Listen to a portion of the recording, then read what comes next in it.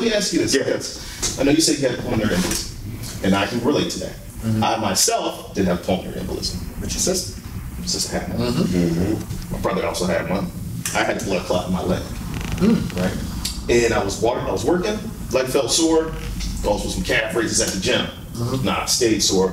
Went, got a CAT scan, it was like, yo, not CAT scan, but a, uh Doppler. They're like, no, you got a blood clot, you gotta go to the ER right now. Dang. And I'm like, oh, wow. Because I know how serious it is. You travel with your heart, lung, whatever, brain, aneurysm, you're done. And I have a family history of it. So I know for you, right, you're like, you know, that made me kind of want to slow down and appreciate things. Now, for me, at the same time, I was like, damn. It just reminded me of my mortality. Mm. Like, you really don't have a whole lot of time. You might not. So maybe these things that you think you might be talented in, you really need to try to get the ball rolling. Yep. Did you have that same kind of effect? Did have that same kind of effect on you as well? I know it makes you want to chill out and appreciate your friends and your family, but at the same time, it's kind of like, yeah, but I really. Clock's ticking. It, it- it- it could be for. Like, you never know. Like, because if you get one, they say you can get another. You know what I mean? So my, like, my, my light skin multiplied by eight. I was so, let me tell you, I went to the to the doctor. So I drove myself to the ER because I was like, was, and I'll never. And, and now that's not a light skin thing to do. This man was in distress. it was because of my son. No, but I tell y'all.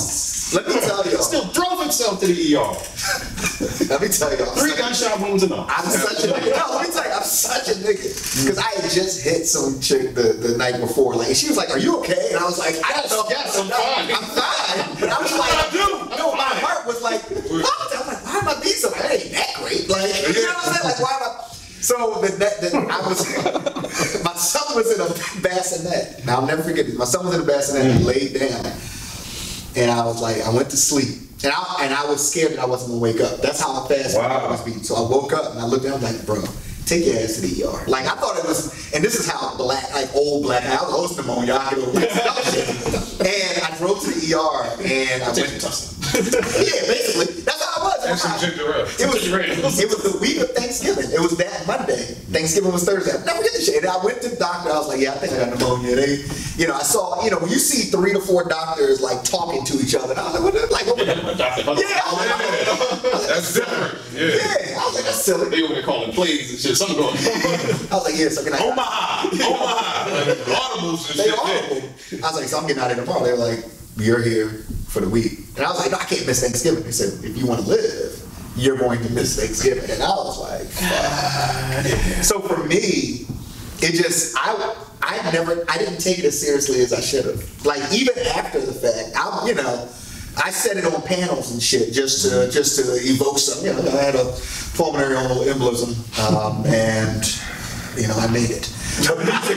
like, take it. Persevere. I persevere.